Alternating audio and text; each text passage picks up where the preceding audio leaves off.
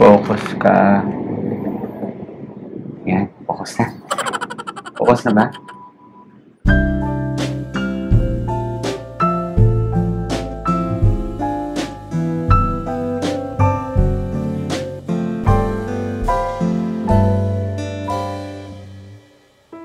Hi guys, welcome back to my channel. This is Jim and um yeah, thank you so much for watching the episode 1 ng ating Dermapen topic and today, welcome to episode 2 kung saan ipapakita ko sa inyo yung actual procedure tsaka preparation ko kung paano ko ginagamit yung Dermapen. By the way, today is the seventh day after ako nag-dermapen and at the end of this video, please watch nyo yung mga check-ins ko para alam nyo kung ano yung expectation after ng 24-hour period nung ginamit nyo yung dermapen, after 2 days, and after 3 days. Yun yung mga check-ins ko at eto na yung um, last update which is the seventh day.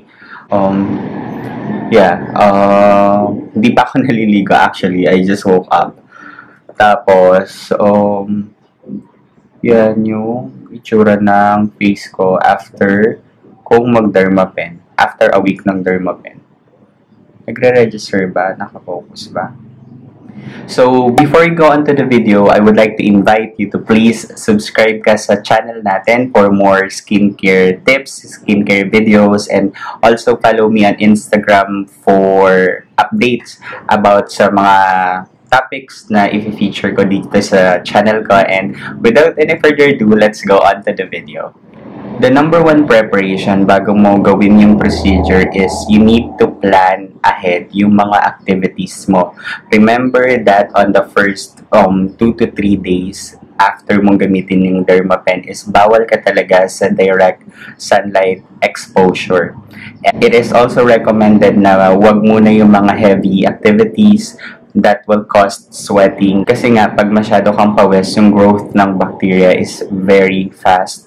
Kaya, iwasan mo muna yung magpunta sa gym. Or if you are into sports, mas magandang iwasan mo muna siya. Now that you already planned your schedule, um, kailangan mo naman is sanitize yung surrounding. Kailangan plan mo na kung saan mo gagawin yung procedure. For example, you have a table, kung saan mo isa-set up yung mga gagamitin mo, kailangan malinis lahat ng surroundings at lahat ng surface. Including na rin doon yung gagamitin mo sa pagtulog. So, kailangan yung bed sheets mo, yung pillows mo, masanitize mo na din. Because of course, it will touch your face at medyo um, sensitive pa siya kasi nga um, tinusok mo siya ng mga karayom. And lastly, um, hindi naman pwedeng malimutan na you need to um, sanitize your hands before doing the procedure. Since tapos na tayong mag-sanitize, yung preparation mo naman on your face is you just need to do your normal skincare routine and it's very recommended that you use scrub para matanggal mo na yung dead skin cells sa surface ng um, mukha mo and uh, as well this is the best time for you to use your blackhead removers or yung mga blackhead um, tools mo ito yung perfect time na gamitin mo sila because you don't want na matusok pa ng karayom yung mga blackheads mo. Kaya this is the best time to harvest your blackheads. Last tip is, I think mas maganda na alone mo gagawin yung procedure kasi mas magandang hindi ka talaga ma-interrupt. Um, especially if hindi ka gagamit ng numbing cream, um, it's best na tuloy-tuloy lang mo yung procedure kasi mahirap siyang balikan. For example, you're already done half of your face, then na-interrupt ka and gusto mo pulido or lahat ng areas um, nadaanan ng dermapen. Pagbabalikan mo kasi siya, medyo hindi na ganun kaganda or parang malagkit na because of the blood. Kaya um, mas maganda talaga tuloy-tuloy yung procedure mo. And kung gagamit ka naman ng numbing cream, syempre may duration lang din yung um, visa niya. Kaya mas maganda talaga tuloy-tuloy and no interruption at all. Using of naming cream naman, it's very easy. You just need to apply it sa mga areas na kailangan mong pamanhidin and um, you need to use clean wrap after mong i-apply and leave it 30 to 60 minutes. And pwede mo na siyang uh, tanggalin pag naramdaman mong medyo manhid na yung uh, iyong uh, face. You can wash it or you can just use wet wipes to remove yung excess ng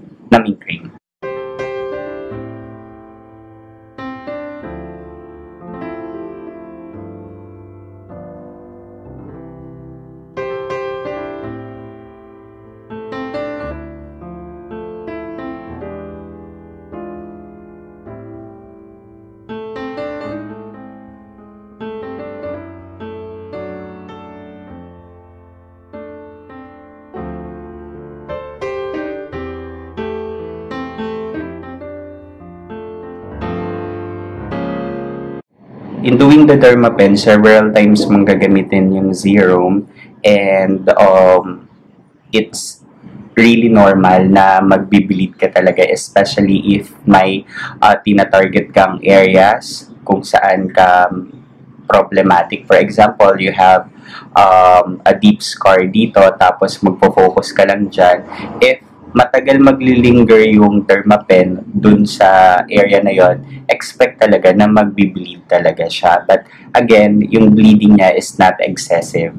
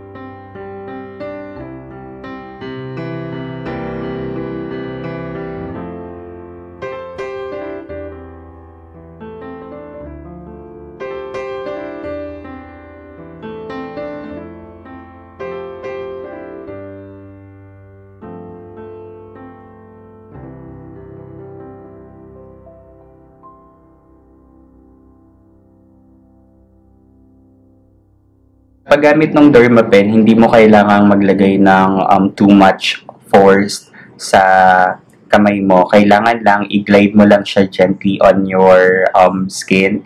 Um, kailangan matouch lang talaga ng karayom yung balat mo and make sure na nape-penetrate niya ng maayos. But hindi mo kailangang diinan yung um, paghawak mo sa dermapen papunta sa balat mo kasi nga masyadong harsh na yun kung ibibiin mo pa. Again, gentle lang talaga dapat yung pag-glide.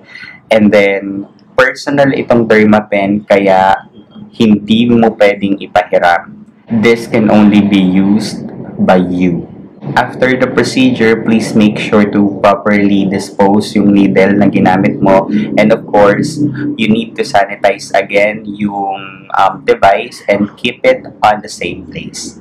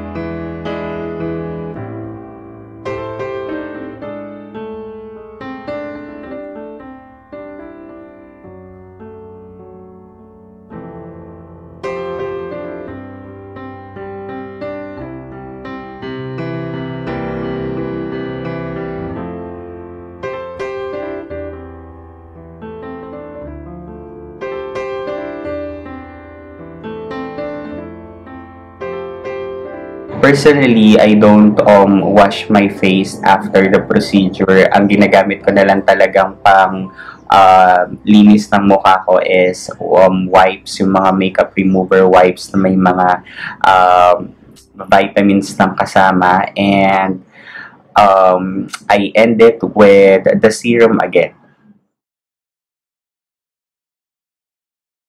Hello, this is the first day after kong mag-dermapen, um, medyo red pa talaga siya and I can feel na masyadong banat na banat yung mukha ko talaga and medyo dry siya because expected na magpipil siya on the next couple of um, days.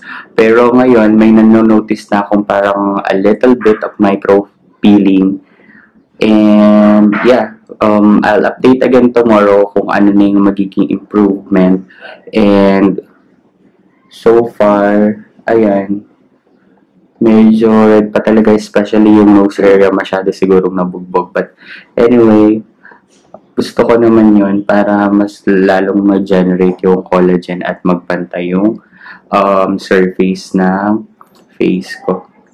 I think gagamit ako ng aloe vera gel today let's see kung magsasubside pa yung redness. But, yeah, yun lang din naman yung routine ko lagi every time na na-dermapen ako.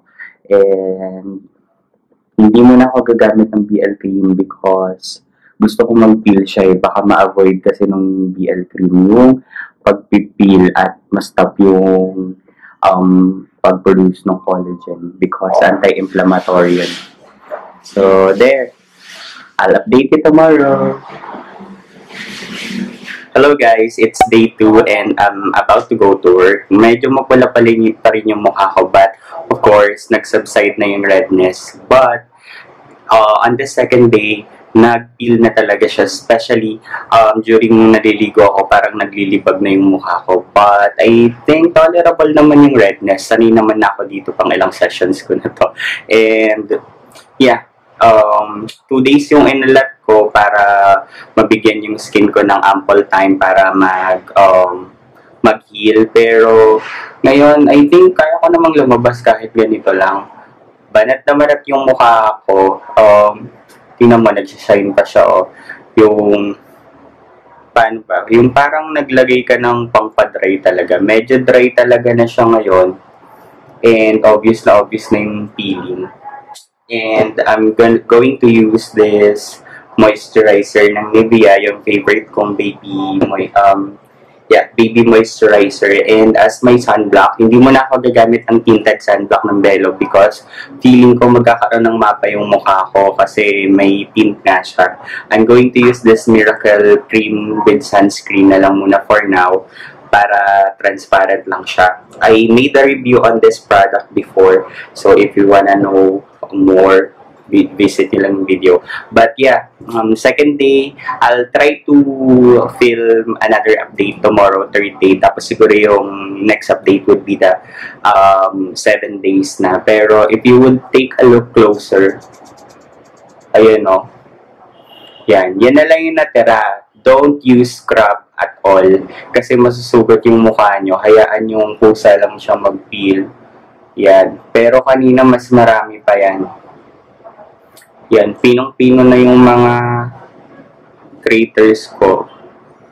Yung ilong ko medyo yun yung medyo mapula pa. But yeah.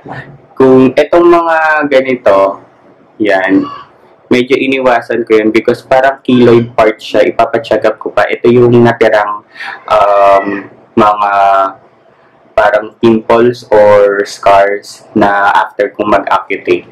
So, yan. There. Focus ba? Yan, focus. Yan.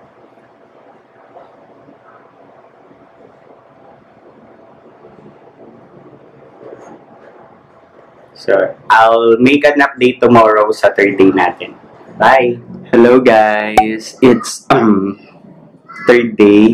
Sobrang init no? It's 4pm and na nagre-ready na ako papasok. And yeah, um, wala nang um, peeling, naubos na siya. Siguro sumama na sa paliligo ko. Buong mukha ko, nagpeel lang yung pinaka, yeah, uh, ano tawag dito? Yung pinaka top part lang. Ayan. Tapos na mag-peel and so far, yan. Yan na yung itsura niya. Konti na lang yung redness. Very tolerable na. This is the perfect time din para um, gumamit ako ng BB cream. Ito, masyado yatang napalalim yung tusok ko dyan. But anyway, yan. Maganda. Um, super healthy looking na yung balat ko ulit.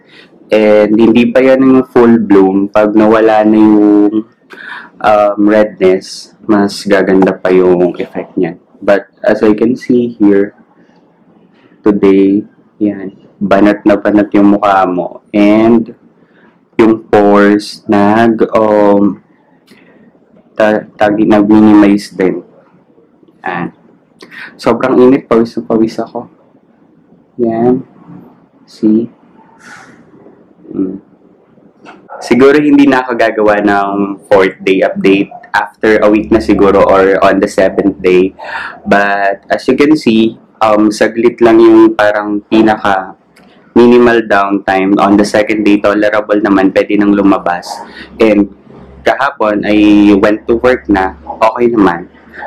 Nadala ko naman yung medyo konting feeling ng mukha ko. And ngayon, tapos na, um, when I was taking a bath, um, medyo meron pa dito sa gilid part. Pero after mong magsabon, okay naman. Sobrang init, grabe. Um, so there.